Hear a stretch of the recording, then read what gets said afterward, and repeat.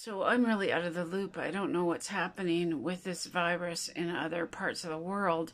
I'm in Canada and I'm in Saskatchewan. And last night I took a cab to get to this, which I can't afford, to get to a um,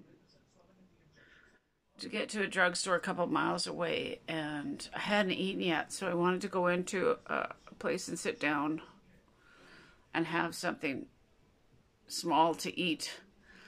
I am not allowed in any eating establishments unless I have a vaccine passport that proves that I've been had all my COVID vaccinations. So I can't I can't go anywhere to eat.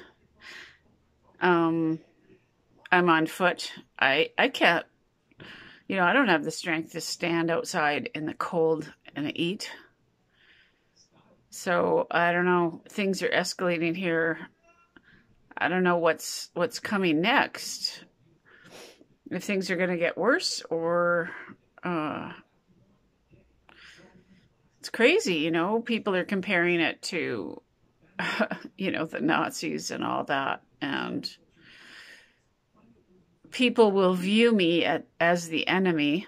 I was standing last week. I was standing outside a restaurant. I down the street.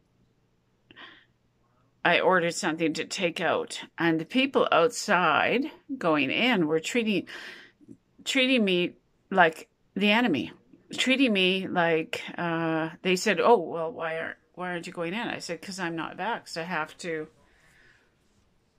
I have to wait outside for my food." Literally, it's they're putting people in opposition of each other. Um, treat people tr- are treating me like I'm the enemy, like I'm the bad guy people are treating me like I have the virus and I am a direct threat to their life. I saw a video that Trudeau made barking those people, those referring to us as those people. People in the public eye have lost their jobs, you know, talking like that about people. He's training them to teach, training them to treat people like me as the enemy. I am so ill from my last medical injury that there's no way I can get that vax right now, no matter what the cost. I cannot get that vax.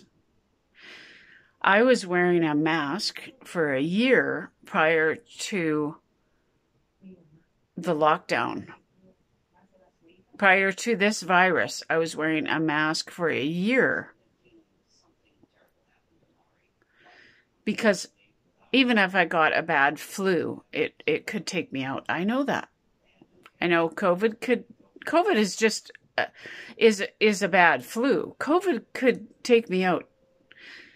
The virus could put me in a wheelchair or put me in a nursing home. I know that The people's nervous people who do get injured from the vax are it's an assault to the nervous system. My nervous system is wrecked from my last medical injury. But the majority are being trained to treat the unvaxxed like we're demons and like we're the enemy. I am not anybody's enemy. What I need is is help and compassion from the vaccinated to help me get supplies and help me, you know, get stuff from restaurants and groceries and stuff. But yet we're what we see from the government is they're training us to treat us like the enemy and that's just so backwards.